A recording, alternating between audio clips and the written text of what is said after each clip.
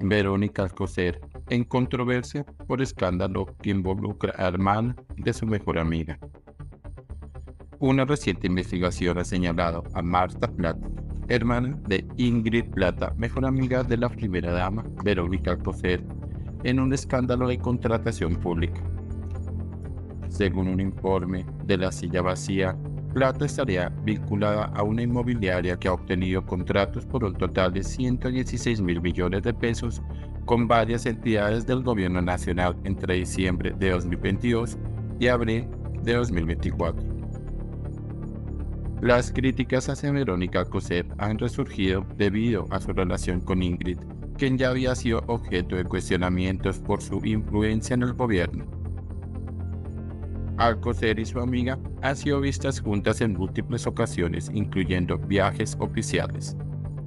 A esto se suma que Ingrid Plata recibió contratos por 552 millones de pesos para la administración de las casas presidenciales.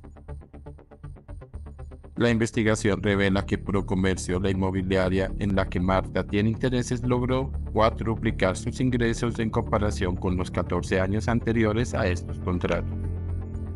Uno de los acuerdos más significativos fue con el Departamento de Prosperidad Social de por un monto de 41 mil millones de pesos, apenas semanas después de que Marta Plata se reuniera con Jonathan Ramírez, el secretario general y figura envuelta en un escándalo de corrupción relacionado con el direccionamiento de contratos. La reunión de más de seis horas entre Plata y el DPS ocurrió cuando Procomercio atravesaba dificultades financieras y poco después el departamento decidió renovar su contrato de arrendamiento, adjudicándoselo a la mencionada empresa. Además, el Consejo Nacional Electoral CNE también se trasladó a un nuevo local arrendado a Procomercio por 2.931 millones de pesos en agosto de 2023, con una renovación que asciende a más de 12.000 millones de pesos.